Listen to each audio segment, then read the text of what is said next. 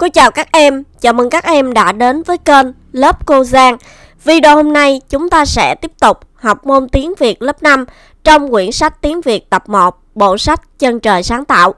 Bài học ngày hôm nay chúng ta sẽ tiếp tục với chủ điểm chung sống yêu thương, bài số 7 tuần thứ 13.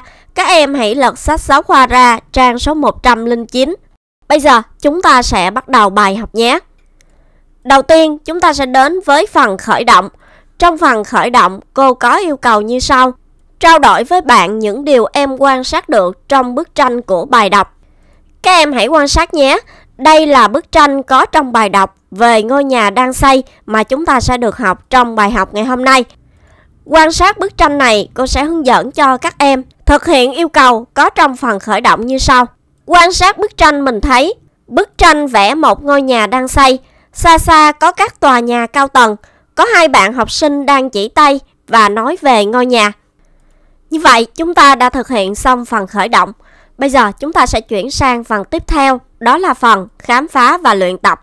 Trong phần này chúng ta sẽ thực hiện một số hoạt động như sau. Hoạt động đầu tiên là hoạt động luyện đọc. Ở hoạt động này chúng ta sẽ thực hiện hai bài tập. Bài tập số 1, đọc bài thơ. Ở bài tập này chúng ta sẽ luyện đọc bài thơ có tựa đề là Về ngôi nhà đang xây, rồi sau đó trả lời các câu hỏi liên quan đến bài thơ. Bây giờ các em hãy lắng nghe cô đọc mẫu bài trước nhé. Về ngôi nhà đang xây, chiều đi học về, chúng em qua ngôi nhà xây dở, giàn giáo tựa cái lòng che chở, trụ bê tông nhú lên như một mầm cây. Bác thợ nề ra về còn hơ hơ cái bay, tạm biệt.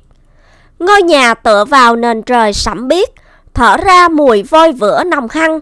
Ngôi nhà giống bài thơ sắp làm xong, là bức tranh còn nguyên màu voi, gạch.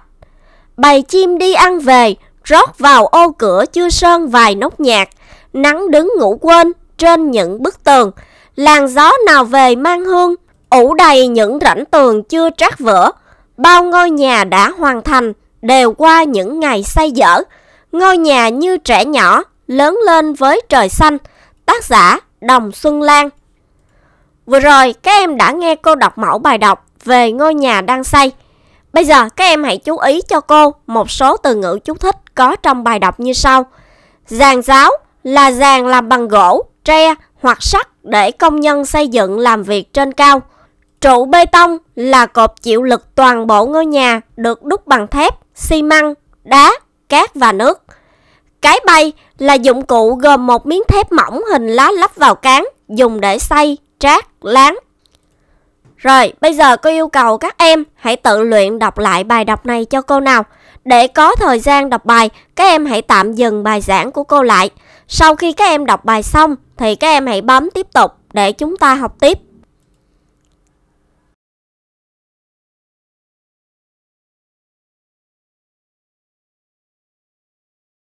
Các em đã đọc bài xong chưa? Bây giờ chúng ta sẽ cùng nhau tìm hiểu bài đọc nhé. Các em hãy trả lời cho cô một số câu hỏi như sau. Câu hỏi số 1. Trong hai khổ thơ đầu, ngôi nhà đang xây được tả bằng những hình ảnh nào? Cách tả đó có gì độc đáo? Hình ảnh so sánh, hình ảnh nhân hóa. Để trả lời được câu hỏi số 1, các em hãy đọc thật kỹ lại cho cô hai khổ thơ đầu. Như vậy, dựa vào hai khổ thơ này, cô sẽ hướng dẫn cho các em trả lời câu hỏi số 1 như sau. Trong hai khổ thơ đầu, ngôi nhà đang xây được tả bằng những hình ảnh như sau. Hình ảnh so sánh, giàn giáo tựa cái lòng che chở, ngôi nhà tựa vào nền trời sẫm biếc, ngôi nhà giống bài thơ sắp làm xong.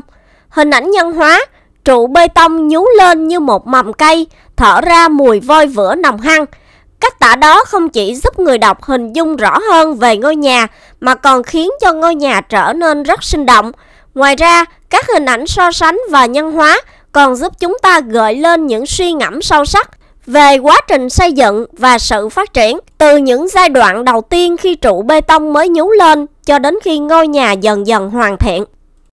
Tiếp tục, câu hỏi số 2. Hình ảnh bác thợ nề được tả ở khổ thơ đầu gợi cho em suy nghĩ gì? Để trả lời được câu hỏi này, các em hãy đọc lại cho cô khổ thơ đầu tiên nhé.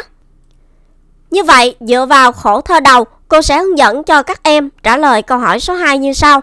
Hình ảnh bác thợ nề được tả ở khổ thơ đầu gợi cho em suy nghĩ bác là người rất chất phát, nhân hậu, dễ gần, thân thiện.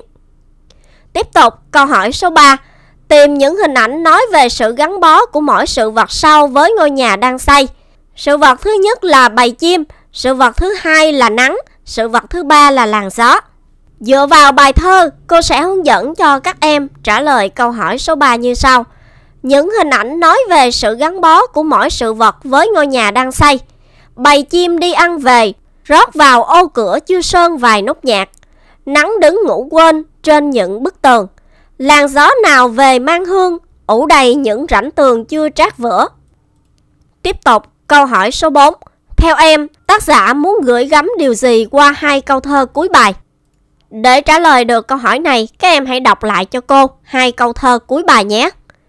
Như vậy, dựa vào hai câu thơ này, cô sẽ hướng dẫn cho các em trả lời câu hỏi số 4 như sau. Qua hai câu thơ cuối, tác giả muốn gửi gắm đến người đọc những thông điệp sau. Ngôi nhà biểu tượng cho sự trưởng thành. Tác giả so sánh ngôi nhà đang xây với một đứa trẻ đang lớn lên.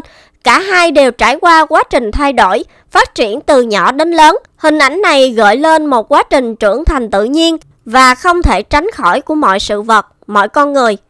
Trời xanh biểu tượng cho tương lai. Lớn lên với trời xanh không chỉ đơn thuần miêu tả khung cảnh xung quanh ngôi nhà mà còn gợi mở về một tương lai tươi sáng, rộng mở đang chờ đón. Trời xanh tượng trưng cho những ước mơ, hy vọng và những điều tốt đẹp. Thông điệp về sự sống và phát triển. Qua hình ảnh ngôi nhà đang lớn lên, tác giả muốn khẳng định rằng cuộc sống luôn vận động, phát triển không ngừng. Mọi sự vật, hiện tượng đều có quá trình hình thành và trưởng thành của riêng mình. Rồi, cuối cùng, sau bài học ngày hôm nay, cô yêu cầu các em hãy học thuộc lòng bài thơ này cho cô nhé. Bây giờ, chúng ta sẽ chuyển sang bài tập số 2 có ở hoạt động luyện đọc. Đọc mở rộng, sinh hoạt câu lạc bộ đọc sách chủ điểm, chung sống yêu thương. A. Tìm đọc bản tin theo các gợi ý như sau. Về một hoạt động thiện nguyện, về trường học xanh sạch đẹp, về một trải nghiệm thú vị, vân vân. Rồi, ở đây cô sẽ gợi ý cho các em đọc một bản tin về một hoạt động thiện nguyện. Và đây là nội dung của bản tin. Bản tin về một hoạt động thiện nguyện. Thêm 200 phần quà sẽ chia với người khó khăn. Ngày 30 tháng 8, Báo Thanh niên phối hợp cùng Bệnh viện Thẩm mỹ Gan Vu tiếp tục trao 200 phần quà đến người nghèo, gia đình khó khăn tại quận Tân Bình, huyện Nhà Bè, thành phố Hồ Chí Minh. Trước đó, chương trình cũng đã trao 200 xuất quà tương tự với bà con nghèo ở quận Gò Vấp và huyện Củ Chi. Đây là một trong những hoạt động thiện nguyện hướng tới kỷ niệm 79 năm cách mạng tháng 8 và quốc khánh 2 tháng 9. Sáng ngày 30 tháng 8, tại Ủy ban Nhân dân phường 13, quận Tân Bình, thành phố Hồ Chí Minh, Đoàn công tác xã hội báo thanh niên và Bệnh viện Thẩm mỹ Gam Vu với sự hỗ trợ của chính quyền địa phương đã tổ chức trao 100 phần quà, mỗi phần quà trị giá 500.000 đồng, gồm gạo, nhu yếu phẩm và 200.000 đồng tiền mặt cho các gia đình khó khăn, hộ người cao tuổi, bệnh tật đang sinh sống trên địa bàn. Chiều cùng ngày, Báo Thanh niên và Bệnh viện Thẩm mỹ Gan Vu trao tiếp 100 phần quà cho các hộ ở thị trấn Nhà Bè, huyện Nhà Bè, thành phố Hồ Chí Minh. Thay mặt chính quyền địa phương, ông Đặng Hữu Dũng Sĩ, Chủ tịch Ủy ban Mặt trận Tổ quốc Việt Nam thị trấn Nhà Bè, gửi lời cảm ơn Báo Thanh niên và Bệnh viện Thẩm mỹ Gan Vu luôn đồng hành cùng chính quyền địa phương trong nhiều hoạt động hướng về cộng đồng. Những phần quà hôm nay càng ý nghĩa hơn khi chúng ta đang hướng tới sự kiện trọng đại của đất nước, kỷ niệm 79 năm cách mạng tháng 8 và quốc khánh 2 tháng 9, ông Sĩ nói. Chia sẻ tại lễ trao quà, bà Lê Hiền, nhà sáng lập Bệnh viện Thẩm mỹ Gan Vu, cho biết thời gian qua, bên cạnh hoạt động chuyên môn, bệnh viện đã phối hợp với báo thanh niên thực hiện những hoạt động thiện nguyện hướng về cộng đồng. Đặc biệt trong các dịp lễ Tết, phần quà hôm nay tuy không lớn nhưng đó là nghĩa cử, là tình cảm của tập thể cán bộ, nhân viên, người lao động của bệnh viện, của đối tác và khách hàng nhằm chia sẻ với bà con còn gặp nhiều khó khăn. Mong bà con luôn vui vẻ và hạnh phúc. Trong thời gian tới, chúng tôi sẽ tiếp tục đồng hành cùng báo thanh niên, dành thêm nhiều tình cảm hơn nữa với bà con nghèo khó như một sự tri ân ý nghĩa với cuộc sống yêu thương này, bà Lê Hiền cho biết thêm. Như vậy, cô đã gợi ý cho các em đọc một bản tin về một hoạt động thiện nguyện. Tiếp tục, câu B, chúng ta sẽ ghi chép và trang trí nhật ký đọc sách theo những gợi ý như sau. Tên bản tin, tác giả, thông tin chính, suy nghĩ, cảm xúc. Rồi, dựa vào bản tin mà cô gợi ý cho các em đọc ở câu A, cô sẽ hướng dẫn cho các em thực hiện câu B như sau. Nhật ký đọc sách, tên bản tin, thêm 200 phần quà sẽ chia với người khó khăn. Tác giả, báo thanh niên, thông tin chính, hoạt động, trao 200 phần quà cho người nghèo, gia đình khó khăn tại quận Tân Bình và huyện Nhà Bè, thành phố Hồ Chí Minh. Đối tượng, các gia đình khó khăn, hộ người cao tuổi, bệnh tật. Nội dung quà, gạo, nhu yếu phẩm và tiền mặt. Đơn vị phối hợp, báo thanh niên và bệnh viện thẩm mỹ Gan Vu. Ý nghĩa, hướng tới kỷ niệm 79 năm cách mạng tháng 8 và quốc khánh 2 tháng 9, thể hiện tinh thần tương thân tương ái. Suy nghĩ và cảm xúc khi đọc bản tin – Em cảm thấy rất xúc động trước tấm lòng nhân ái của báo Thanh niên, Bệnh viện Thẩm mỹ Gan Vu và những người đã đóng góp vào chương trình này. Qua bản tin này, em học được ý nghĩa của việc chia sẻ và đóng góp cho cộng đồng. Và đây là mẫu trang trí nhật ký đọc sách của cô. Các em có thể dựa theo để trang trí nhật ký đọc sách của mình nhé. Tiếp tục, chúng ta sẽ chuyển sang câu C. Cùng bạn chia sẻ bản tin đã đọc nhật ký đọc sách những điều em hiểu biết thêm, suy nghĩ, cảm xúc của em sau khi đọc bản tin. Rồi, bây giờ các em có thể tham khảo bài làm sau đây của cô nhé. Mình đã đọc bản tin nói về một hoạt động thiện nguyện trên báo Thanh niên.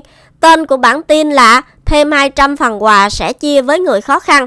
Sau khi đọc bản tin, mình đã ghi chép vào nhật ký đọc sách những thông tin như sau.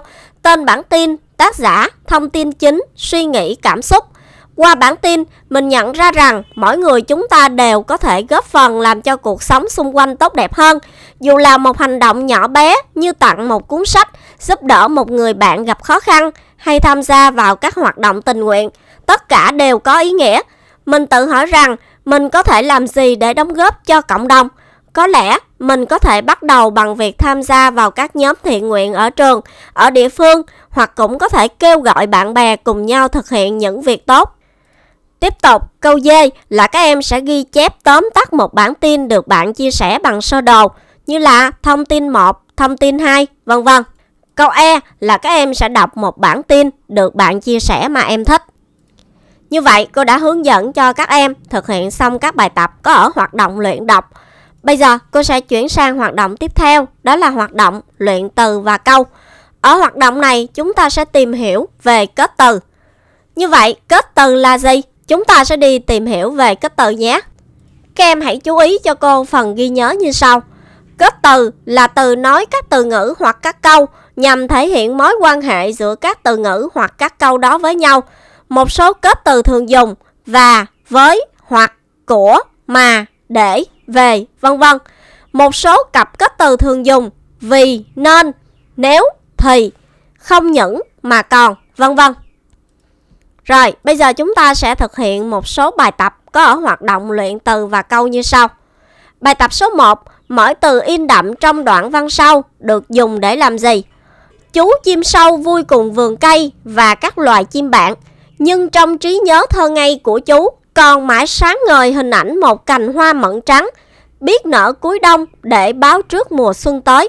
Tác giả Nguyễn Kiên Như vậy, trong đoạn văn này, các từ in đậm là và, nhưng, của, để. Các từ in đậm này được dùng để nói các từ và các câu trong đoạn văn. Tiếp tục, chúng ta sẽ chuyển sang bài tập số 2. Trong mỗi câu sau, các từ in đậm có tác dụng gì? A. Vì rùa biết mình chậm chạp nên nó cố sức chạy thật nhanh. B. Nếu trời mưa to thì buổi cắm trại của chúng tôi sẽ phải hoãn lại. Như vậy, trong mỗi câu trên, các từ in đậm có tác dụng nói các từ ngữ nhằm thể hiện mối quan hệ giữa các từ ngữ với nhau. Qua hai bài tập này, cô nhắc lại các từ in đậm mà chúng ta vừa thấy trong hai bài tập vừa rồi được gọi là kết từ. Và các từ là từ nói các từ ngữ hoặc các câu nhằm thể hiện mối quan hệ giữa các từ ngữ hoặc các câu đó với nhau. Một số kết từ mà chúng ta thường dùng đó là và, với, hoặc, của, mà, để, về, vân vân. Một số cặp kết từ thường dùng vì nên, nếu thì, không những mà còn, vân vân. Tiếp tục, chúng ta sẽ chuyển sang bài tập số 3, phần luyện từ và câu có trong sách giáo khoa. Tìm các từ trong mỗi đoạn văn sau. Câu A. Chị Na nhắc ba đôi dép mới, khẽ nói. Đây là đôi của anh cả, còn đây là của chị em mình. Mẹ bảo mùng 1 mới được đi, nhưng giờ mình đi thử một tí rồi lại cất lên. Theo Cao Nguyệt Nguyên. B. Trăng cuối tháng vàng và nhọn như một chiếc ngà non đã ló ra khỏi đỉnh núi. Trời đầy sao, gió lộng trên những ngọn cây cao, nhưng trong rừng thì hoàn toàn yên tĩnh. Hoa lá, quả chín, những vạt nấm ẩm ướt đua nhau tỏa mùi thơm, những đốm sáng lân tinh trên gỗ và trên lá mục lấp lánh, theo Vũ Hồng. Rồi, bây giờ cô sẽ hướng dẫn cho các em thực hiện bài tập số 3 này như sau. Các em hãy lấy cho cô vở bài tập tiếng Việt tập 1 ra, lật ra trang số 80, bài tập số 1, phần luyện từ và câu. Khi các em làm bài thì các em sẽ làm vào trong vở bài tập tiếng Việt nhé. Gạch dưới kết từ trong mỗi đoạn văn sau. Các em có 30 giây để suy nghĩ và hoàn thành bài tập. 30 giây bắt đầu.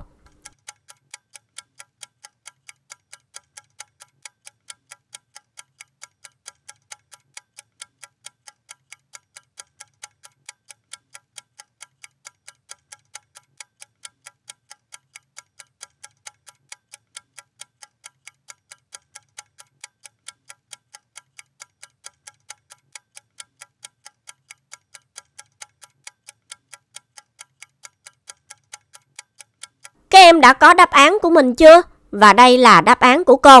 Cô sẽ gặp dưới các kết từ có trong mỗi đoạn văn. Đoạn văn A. Các kết từ có trong đoạn văn A là còn, nhưng. Các kết từ có trong đoạn văn B là nhưng, thì, và. Tiếp tục, chúng ta sẽ chuyển sang bài tập số 4 có trong sách giáo khoa, phần luyện từ và câu. Chọn cặp kết từ phù hợp trong khung thay cho bông hoa trong mỗi câu sau. Ở đây cô có 3 cặp kết từ tuy nhưng, nhờ nên, nếu thì. Chúng ta sẽ chọn các cặp kết từ này để thay vào các bông hoa có trong mỗi câu. Và bài tập này chính là bài tập số 2 có trong vở bài tập tiếng Việt tập 1 trang số 80. Khi các em làm bài thì các em sẽ làm vào trong vở bài tập tiếng Việt nhé. Rồi, bây giờ các em có 30 giây để suy nghĩ và hoàn thành bài tập. 30 giây bắt đầu.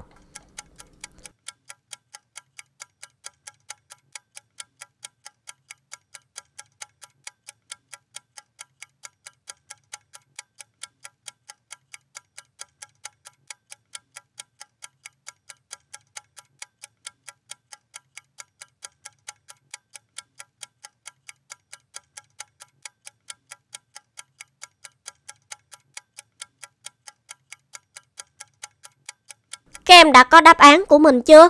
Và đây là đáp án của cô. Câu A. Nhờ chăm chỉ luyện tập nên đội bóng đá nữ của lớp 5C đã đoạt giải nhất. Câu B. Nếu trời ấm dần lên thì những ruộng mạ sẽ lên xanh mướt. Câu C. Tuy trời còn mù sương nhưng đám thanh niên trong làng đã ý ới gọi nhau lên nương. Tiếp tục, chúng ta sẽ chuyển sang bài tập số 5, phần luyện từ và câu có trong sách giáo khoa đặt câu giới thiệu về một bài hát mà em thích, trong đó có sử dụng kết từ, chỉ rõ kết từ và tác dụng của nó. Và bài tập này chính là bài tập số 3 có trong vở bài tập tiếng Việt tập 1 trang số 80 và trang số 81. Khi các em làm bài thì các em sẽ làm vào trong vở bài tập tiếng Việt nhé. Bây giờ các em có thể tham khảo bài làm sau đây của cô và dựa theo để hoàn thành bài tập. Cô sẽ đặt câu để giới thiệu về một bài hát trong đó cô có sử dụng kết từ như sau. Bài hát Bóng bóng ban ban không chỉ là một bài hát thiếu nhi mà còn là một câu chuyện cổ tích âm nhạc. Và trong câu này cô có sử dụng cặp kết từ không chỉ mà còn. Tác dụng của kết từ là nói các từ ngữ nhằm thể hiện mối quan hệ giữa các từ ngữ. Ngoài ra, cặp kết từ không chỉ mà còn có tác dụng nhấn mạnh sự đa dạng và phong phú của bài hát. Cặp kết từ này giúp ta hiểu rằng bài hát Bóng bóng ban ban không chỉ đơn thuần là một bài hát thiếu nhi mà còn mang nhiều giá trị hơn thế. Như vậy, cô đã hướng dẫn cho các em thực hiện xong các bài tập có ở hoạt động luyện từ và câu. Bây giờ chúng ta sẽ chuyển sang hoạt động tiếp theo, đó là hoạt động viết. Trả bài văn kể chuyện sáng tạo, bài viết số 1. Đề bài, viết bài văn kể lại câu chuyện sự tích cây thì là với những chi tiết sáng tạo.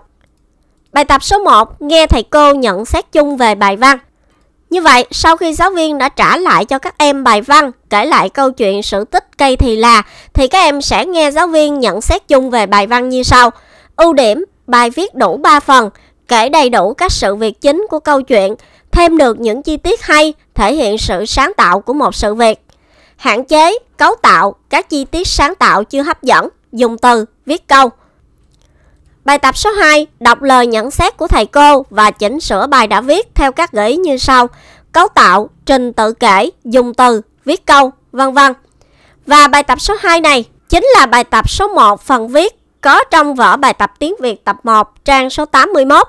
Khi các em làm bài thì các em sẽ làm vào trong vở bài tập tiếng Việt nhé. Đọc lời nhận xét của thầy cô và chỉnh sửa bài viết, kể lại câu chuyện sự tích cây thì là với những chi tiết sáng tạo. Rồi, bây giờ các em có thể tham khảo bài làm sau đây của cô và dựa theo để hoàn thành bài tập nhé. Cô ví dụ, sau khi nghe nhận xét của thầy cô xong, chúng ta có thể chỉnh sửa bài viết, kể lại câu chuyện sự tích cây thì là với những chi tiết sáng tạo như sau. Về cấu tạo, mở đầu, thay vì câu mở đầu khá đơn điệu, chúng ta có thể mở đầu bằng một câu hỏi gợi mở để thu hút người đọc như Các bạn có bao giờ thắc mắc tại sao cây thì là lại có cái tên độc đáo như vậy không? Phần thân bài, chúng ta có thể chia nhỏ phần thân bài thành các đoạn nhỏ. Mỗi đoạn kể về một sự kiện khác nhau để tạo sự mạch lạc và dễ theo dõi. Kết bài, thay vì kết bài một cách đơn giản, có thể đưa ra một bài học rút ra từ câu chuyện. Về trình tự kể, thêm một vài chi tiết nhỏ để làm câu chuyện sinh động hơn, ví dụ như miêu tả vẻ mặt của các loài cây khi chờ đợi đặt tên hoặc hình dáng của cây thì là. Cách dùng từ, thay vì lặp lại từ cây quá nhiều lần, chúng ta có thể sử dụng các từ đồng nghĩa như thực vật, cỏ cây. Ngoài ra, có thể sử dụng một số từ lấy để miêu tả hình ảnh, âm thanh, ví dụ như hớn hở, hỗn hển. Cách viết câu có thể kết hợp các câu đơn, câu ghép để câu văn thêm sinh động.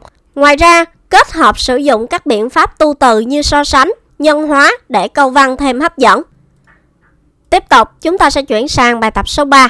Trao đổi với bạn A. Những điều em học được ở bài viết của bạn Mở bài, cách dẫn dắt vào câu chuyện.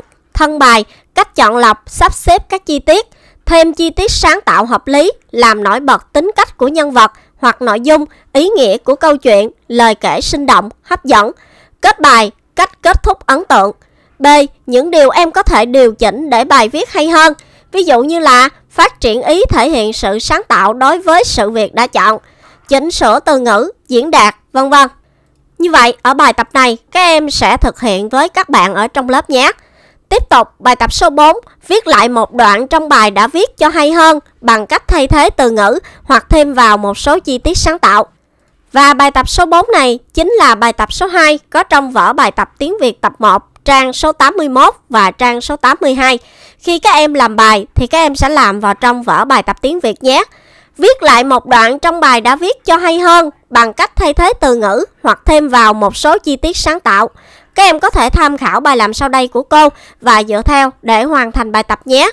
Trong một buổi chiều êm dịu, khi ánh nắng dần nhạt nhòa, một nhành cây nhỏ rụt rè bước đến, làn sương mỏng bao phủ xung quanh, tạo nên một khung cảnh thật huyền ảo. Thở nhẹ, nhành cây cúi đầu, con xin lỗi vì đến muộn ạ, à con đã phải chăm sóc bà ngoại ốm yếu nên không thể đến sớm hơn.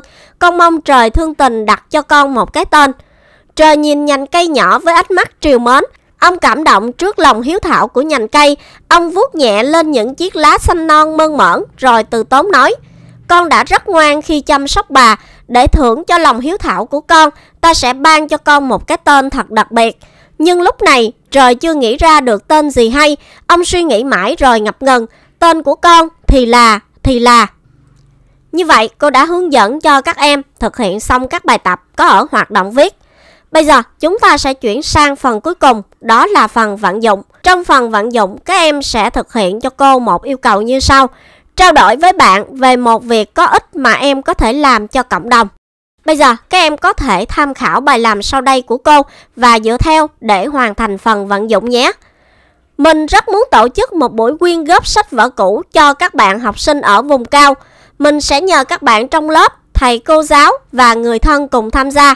Những cuốn sách, quyển vở mà chúng ta không còn sử dụng nữa sẽ trở nên vô cùng ý nghĩa khi đến được tay các bạn nhỏ vùng cao. Mình tin rằng việc làm này sẽ giúp các bạn có thêm nhiều kiến thức và niềm vui trong học tập. Như vậy, cô đã hướng dẫn cho các em thực hiện xong bài tập có ở phần vận dụng.